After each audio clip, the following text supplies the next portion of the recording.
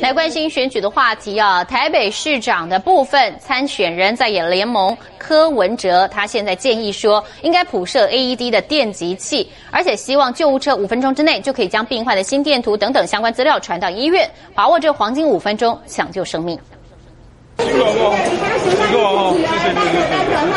流了满身汗，还来不及擦，就赶着再握下一双手。清晨四点，连胜文起了个大早，前往鱼市场拜票，展现亲民形象。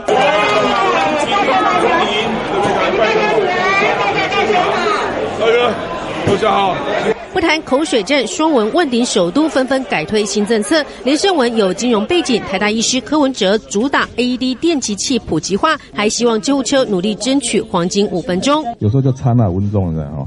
就觉得一个病人会不会变成植物人呢？啊，三分钟之内会到的 case 其实占百分之五十哦。